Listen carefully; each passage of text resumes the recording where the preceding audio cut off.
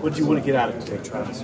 Yeah, just another opportunity to come out here and uh, to compete. Um, you know, showcase my skills. Um, you know, catching the ball and running around. Um, so, really, really pleased with the day, um, and uh, you know, super happy to be out here with the, the old teammates and uh, to be back with my guys. So, uh, great, great day.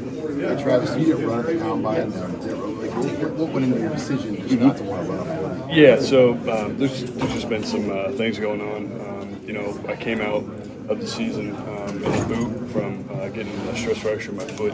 Um, so uh, against the Iowa game, and that, that put me in a boot for a couple couple weeks and kind of delayed my training and, in certain uh, drills. So um, that, that that kind of played a part in it. Did you talk to Garrett after he didn't get invited to the combine? Did you give him any words of encouragement? Yeah, you know, um, I, I I really thought he was going to get invited, um, and I, I believe that he deserved to get invited because he's an unbelievable athlete, unbelievable human being, um, one of my best friends on the team, and um, just a very high character guy. So, I, I, I, personally I didn't I didn't say anything to him. I kind of let him um, let him let him have his space, um, and um, you know, but he killed it today.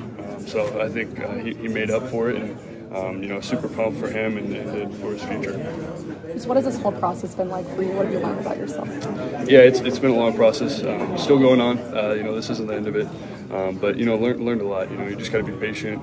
Um, you know, got got to. There's, there's, a lot of things that go on. Um, you know, I was down in Florida training um, by myself, and um, you know, with a, with a group of a bunch of guys that came from all over the country, so it was different. But um, you know, I, I, think I'm a pretty pretty uh, friendly guy, and getting getting to know others was fine, and um, you know, forming um, friendships with those guys. But um, yeah, it, has been long, and I've enjoyed every second of it. you know, I love football. I, I live for football, so just just love every part of this process. What were you working on down in Florida? Yeah, uh, so I was just training down there at Exos down in Pensacola. so just just working on drills and uh, football stuff. What was your main focus? Mm-hmm. Yeah, just just to improve on everything. Um, you know, just just try and um, improve, you know, on, on, footwork, on routes, catching balls, um, you know, and all the drills that we've done here. Um, just just to try and uh, showcase my skills. Hey, Travis, you had a close friend and teammate, uh, Austin Allen, go through the same thing yeah. a year ago. And he kind of went back and forth practice squads and mm-hmm. whatnot. What what has he told you as a tight end going into this?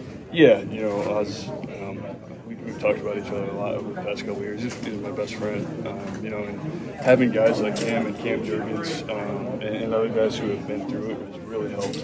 Um, you know, I've been able to reach out to them and kind of kind of ask them, you know, how things go, how how to approach a situation, how to deal with this um, situation or another, and um, you know, they've really helped. Um, you know, and, and they're, they're, great guys, great human beings, and I'm really lucky to call those guys my friends and to have the privilege to, to you know ask them about about how the whole process goes. What has some of their advice been like? Yeah, you just gotta stay patient. Um, you know, one thing is athletes are always gonna have self doubt. Um, that, that's something that um, athletes always have. So just, just you know, trusting the process and because it, it's frustrating. You know, you start out and you know you're you're not getting the results that you want.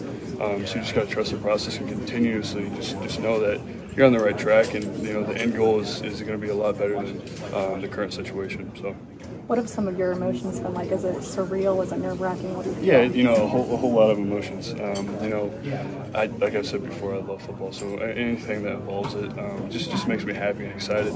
Um, but yeah, just it, has been a it's been a fun ride, and um, I can't wait to can't wait to continue it how would you just evaluate your performance today? Yeah, you know, I, I thought I had a great day. Um, there's there's one drop, you know, um, would love to have that back, but I'm um, not gonna not gonna look past that, and um, you know, just just on to the next thing and uh, continue grinding, continue training, and um, we'll see what happens. Thank Perfect. Thank you guys.